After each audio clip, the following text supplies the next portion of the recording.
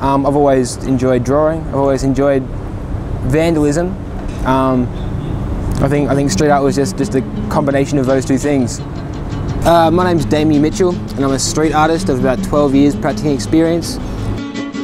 Melbourne's a real wealth of street talent. Melbourne's got some of the best artists living here and practicing here. Um, I think the city's decision to open up a lot of these laneways to painters to come and paint in their own time without you know, fear of being locked up gives the chance for people to kind of take their ideas further and do bigger and larger scale things.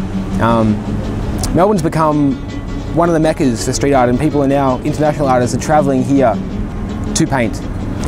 I mean, Mel Melbourne's a great example of a city where the perception of street art's changing a lot. What was once kind of a bit of a bit of an outsider movement is now being embraced by the city and more businesses are wanting it in their shops and in their galleries. Um, and I think a lot of the artists who were, who were painting for a long time are now trying to breed a new generation of, of kids who are coming up painting the right way, you know, painting, painting hard and painting all the time.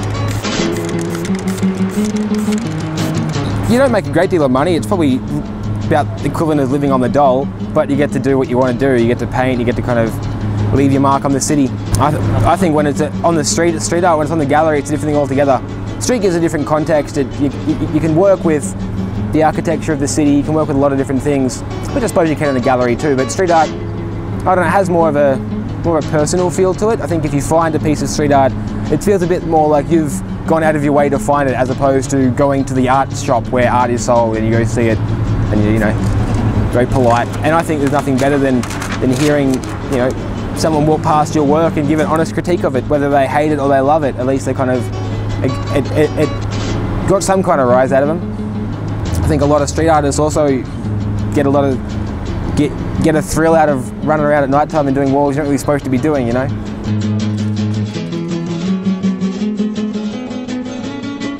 Everyone kind of having their Facebook profile as being a a wall somewhere. Um, I, th I think it's a good thing that it's you know a wider audience, more people can enjoy what what what artists paint. Um, of course, it, it leaves itself open to you know maybe the wrong people coming in, say like advertisers who want to cash in on this whole thing and make make their buck out of it. But I mean, I think those who do it do it because they love it and will do it long after this bubble's popped. I don't do a lot of gallery art, and I think the art I create is just kind of the art I, I, I, like to see. Some of it's funny, some of it's sentimental, some of it has a political message, um, some of it I think just is aesthetically pleasing and I like how that looks on a wall. Um, but no, no, I, I, wouldn't say that by a rule I try to do funny work. Um, it's kind of just how you feel at the moment. Now to this piece just here, um, it's a portrait of my old dog, František. And he was a dog I had when I was living in the Czech Republic, in Prague.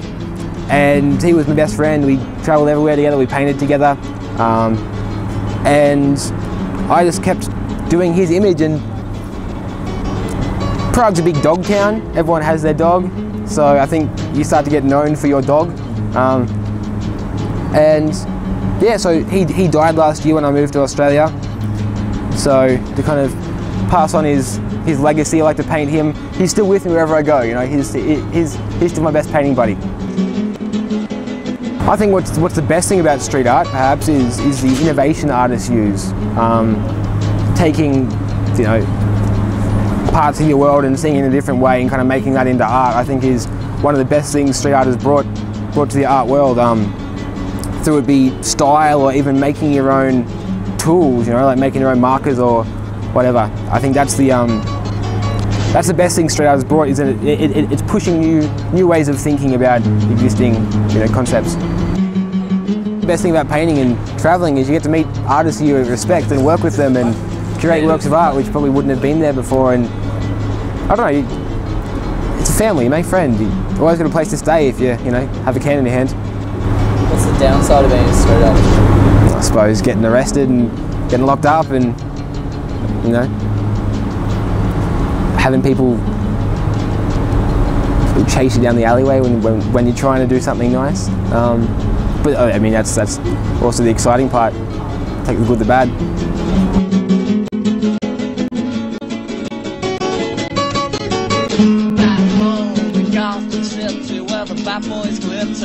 my sister's all you need is.